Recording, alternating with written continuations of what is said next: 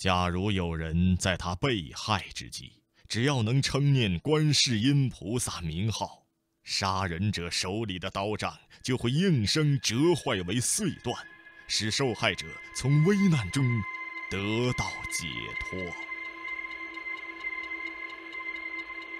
假如到处都有谋财害命的盗贼，有一位商主率领许多商人携带贵重珍宝，经过险峻的道路。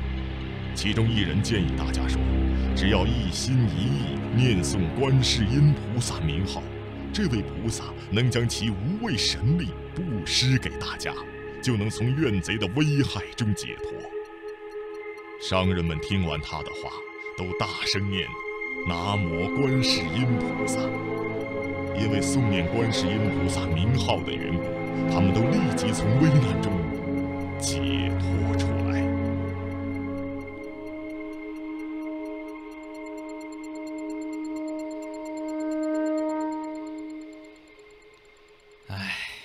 这帮抢劫的混蛋，我们蹲了这么多天，还是没线索。放心吧，我看呐。他们就快现形了。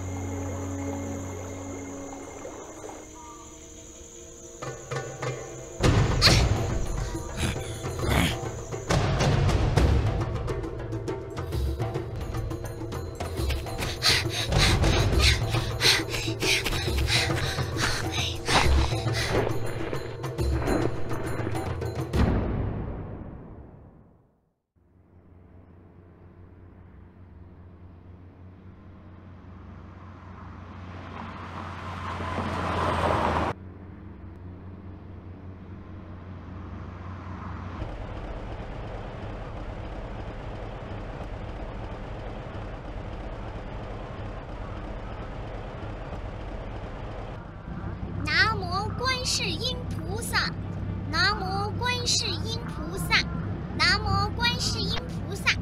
妈妈念菩萨名号时，心里感觉好舒服哦。如果遇到危险，要记得念南无观世音菩萨哦。嗯。啊！哦，怎么回事？哎，我下去看看。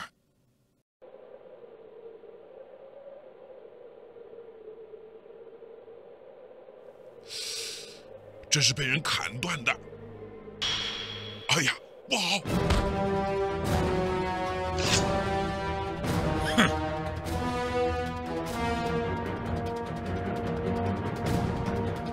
嘿嘿嘿！全给我杀了，再抢钱！啊！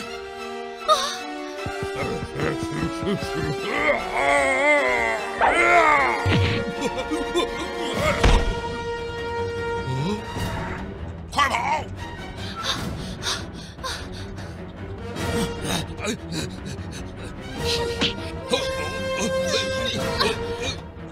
啊，跑得远远的！啊！